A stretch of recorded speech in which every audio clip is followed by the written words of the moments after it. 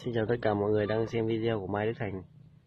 Hôm nay mình sẽ làm cái video này để uh, giới thiệu cách trực tiếp về cách răng thòng ở bãi cuốc và bìm bịp Với uh, hai bộ thòng dây, mỗi bộ 2 mét này là 4 mét của mình.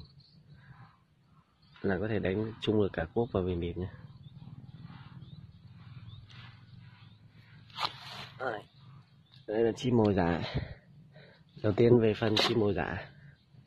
Thì uh, thiết kế của nó là hai cái sắt như này thì mình sẽ bẻ cong xuống. Và cắm vào giữa. Rồi mình sẽ cắm luôn cho mọi người xem nhé.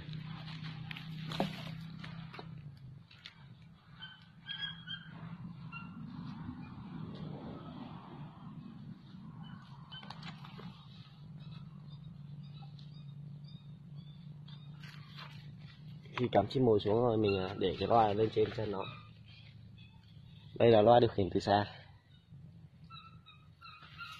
Đây, thòng dây thì khi anh em mua về nó như này. Sẽ gỡ ra.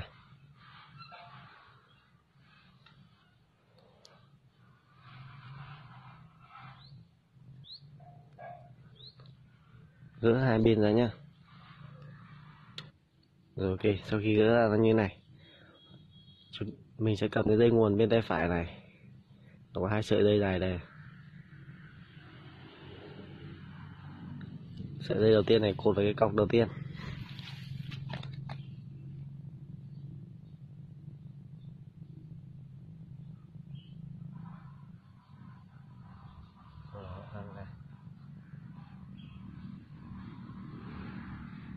rất là dễ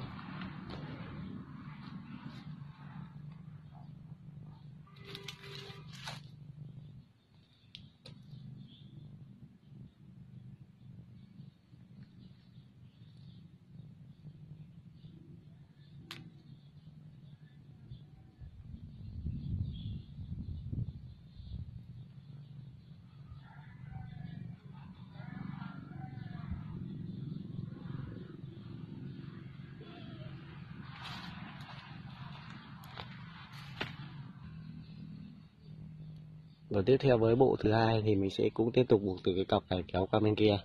Đây là mỗi bộ của mình là 2 mét, hai bộ là 4 mét. Và mình sẽ căng hình vuông ấy.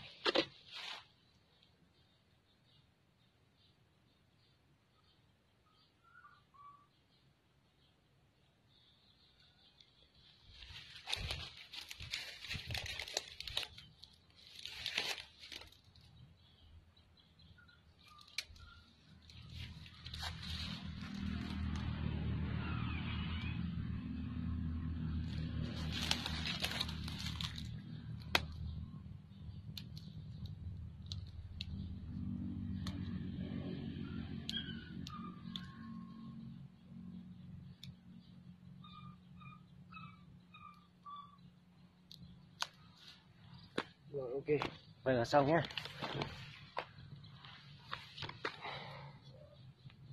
Đấy, thòng dây bên nhà mình là thòng dây chống xoắn. Nhựa siêu bền. Rồi chống xoắn rất là tốt nhá. Đấy, khi đánh cuốc á, thì chúng ta sẽ căng cái thòng này à, từ đáy của thòng tới mặt đất là 10 phân mình đã đo sẵn cái tay của mình là từ ngón tay cái xuống tới dưới là 10 phân thì sẽ đo ở đây như thế này rồi, ok 10 phân. Đó 10 đến 12 phân nha còn đánh mịn bịp thì 7 đến 9 phân nha mọi người. Khi đánh mịn bịp thì mình sẽ thay con mịn bịp mồi giả này vào trong chỗ cho con cuốc kia. Đây mịn bịp mồi giả này. Thiết kế cũng giống như vậy thôi.